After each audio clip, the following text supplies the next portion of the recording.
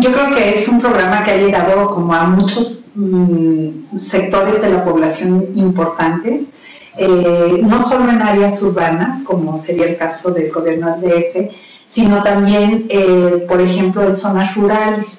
En ese sentido tenemos eh, experiencias exitosas, tanto en Oaxaca como en Zacatecas, y en un programa que tenemos específico con el Fondo Nacional de Becas, eh, tenemos presencia en ocho estados de la República, bueno, en siete y en el DF, en zonas no rurales en este caso, pero en siete que sí son zonas rurales, eh, en donde trabajamos pues de manera muy exitosa, sobre todo en lugares donde no hay bachillerato.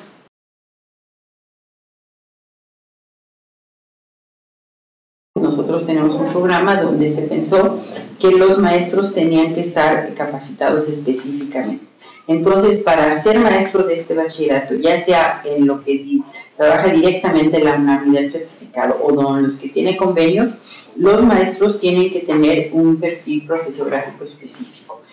Estar titulados en, con licenciatura, maestría, doctorado y este, se le, hay un proceso de, de formación de 120 horas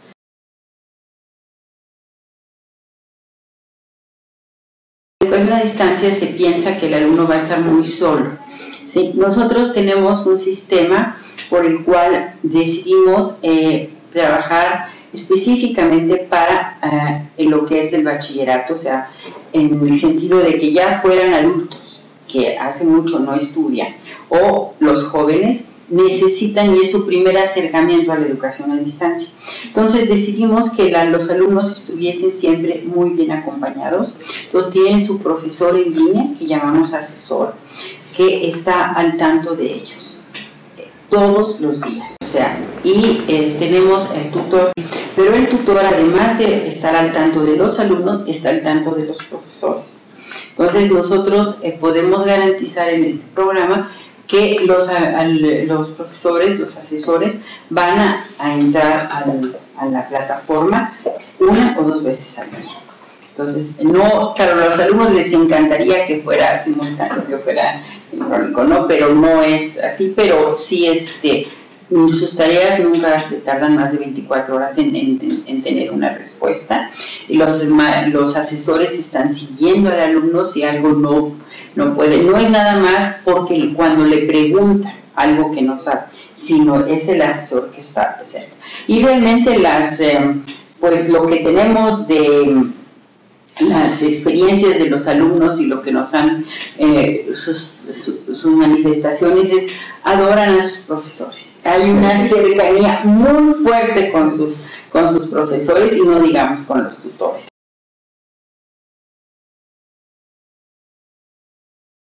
Bueno, nuestro plan de estudios es súper innovador. Eh, de hecho, ganamos el premio de Almuyes a Innovación Educativa en 2009, porque eh, tradicionalmente el bachillerato mexicano tiene como 49 asignaturas, eh, lo cual tiene que ver como con hacer parcelas de conocimiento como muy separadas unas de otras. Nosotros con base en la investigación educativa que había en el momento que, estábamos diseñando este programa y de las necesidades que veíamos y de la comunicación que tuvimos tanto con maestros muy destacados de prepa y CCH de la UNAM como de facultades, institutos y centros de la UNAM, pues concluimos que era importante hacer un programa interdisciplinario que estuviera construido alrededor de grandes problemáticas y grandes ideas que fueran relevantes para la cultura final del bachiller. Eh, por otro lado, teníamos dos documentos muy importantes que eh, marcan cuáles son los contenidos que debe de tener un bachiller, eh, que debe estudiar y que debe manejar muy bien. Entonces, esto nos permitió asegurar que el 100% de lo que debe ser el perfil de egreso se cumpliera, pero de una manera como más moderna.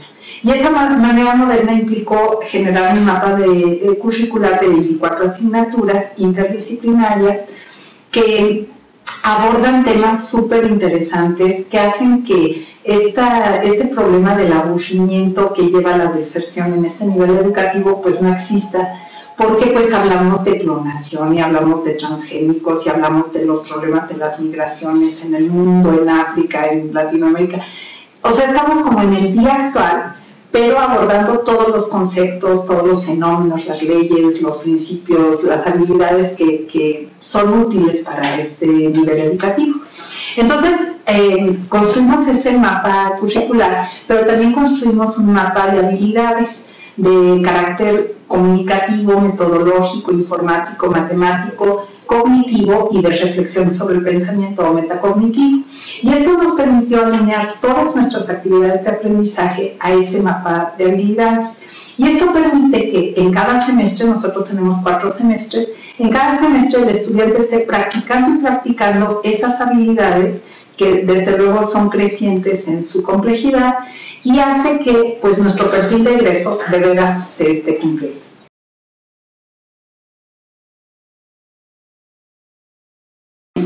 Nosotros en la UNAM, donde da el programa en el extranjero, pues no, los alumnos no tienen que pagar absolutamente nada. Hay un costo por eh, materiales, pero hasta ahora no se ha cobrado absolutamente nada, se da, se beca a los alumnos al 100%, ¿no? Entonces este, no hay ningún, este, ningún costo para todo lo que se está ofreciendo en el extranjero. Y en las, eh, ya en, en las zonas... Este, de, aquí de México, por ejemplo en Puebla tenemos también muchísimos estudiantes, una buena cantidad, tenemos poco, tiempo con ellos, todavía no tenemos egresados, no ha llegado el momento de, del egreso, pero este, bueno, eh, ellos, eh, algunos ah, de los estados cobran una pequeña cuota y algunos han conseguido becas para sus alumnos, pero es una cosa este, pues particular, por ejemplo, en el gobierno del Distrito Federal no cobran nada a los alumnos y sí son todos becas, están todos becados. Bueno, reciben además una beca.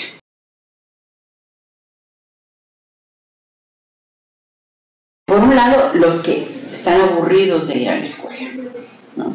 Ahí tenemos casos de un, le dio un diploma en una ceremonia a un joven y decía, es que este yo juré no volver, después me cayeron mal mis maestros de, de secundaria, ya no, no, no, estaba yo a gusto con ese sistema y entonces juré no volver a estudiar. Sus padres, pues, ¿cómo? Un muchacho brillante, todo. se encontraron este, este modelo y le encantó. Quedó fascinado ya con sus maestros y todo muy bien. Pero como eran muchos, luego los que tienen, hacen un deporte. Entonces tienen que pues, de haciendo sus prácticas en las mañanas o en horarios diferentes. Esto aquí hay flexibilidad de horarios. Los artistas, por ejemplo, nosotros tenemos bailarines en Alemania, bailarines mexicanos en Alemania, en fin. Luego, este, en fin, eh, tenemos monjas, por ejemplo, que están en Italia. Este, estudiando, en, fin, hay de, de, todo, pero lo, y personas con alguna capacidad diferente también. Tenemos este, eh, el, bueno, sordos, si, si eh, está hasta ciegos o, débiles visuales, y claro, también hemos tenido con parálisis cerebral.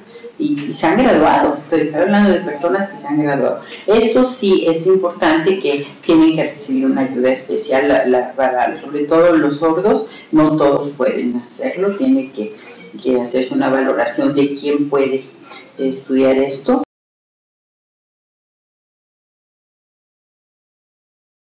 igualito que en presencial, pues hay escuelas buenísimas y malísimas. Entonces, si uno toma un buen curso a distancia, eh, los que estamos en el medio decimos, es que es una educación sin distancia. Estás verdaderamente en la primera fila, atendido de manera muy personalizada por tu asesor, seguido muy de cerca por tu tutor. La gente se siente muy querida, muy sienten el interés genuino del equipo docente por el desarrollo de cada quien.